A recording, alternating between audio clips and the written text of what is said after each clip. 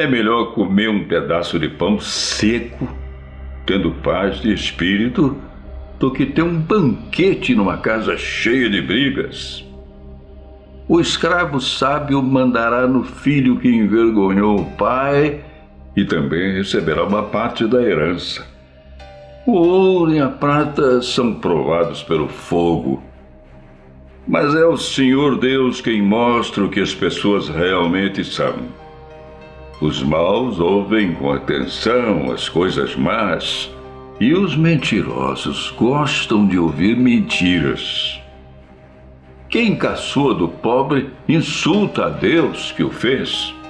Quem se alegra com a desgraça dos outros será castigado. Assim como os avós se orgulham dos netos, os filhos se orgulham dos pais.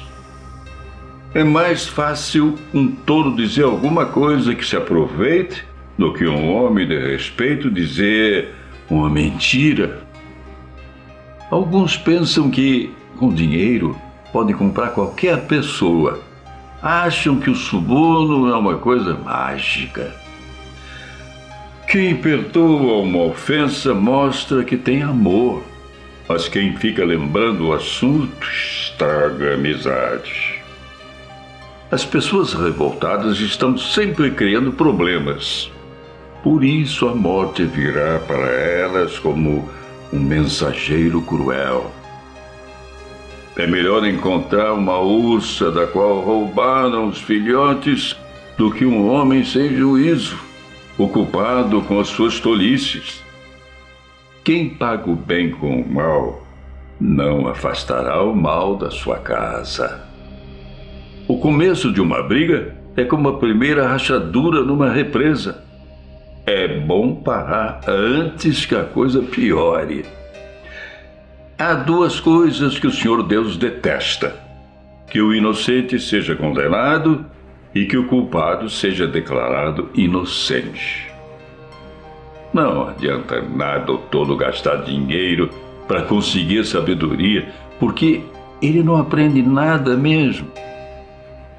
O amigo ama sempre e na desgraça ele se torna um irmão. Somente um tolo aceitaria ficar como fiador do seu vizinho.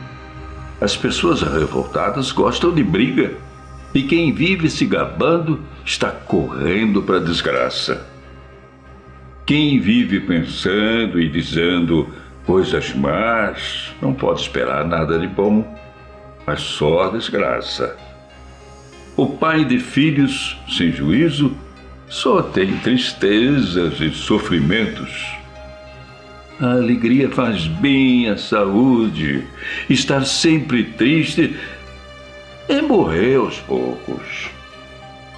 Os juízes desonestos se vendem por dinheiro e por isso são injustos nas suas sentenças. Quem tem juízo procura sabedoria, mas o todo não sabe o que quer. O filho sem juízo é tristeza para o seu pai e amargura para sua mãe. Não é bom multar um homem correto. Não é certo castigar os líderes honestos. Quem controla suas palavras é sábio, e quem mantém a calma mostra que é inteligente. Até um tolo pode passar por sábio, e inteligente, ah, você fica calado.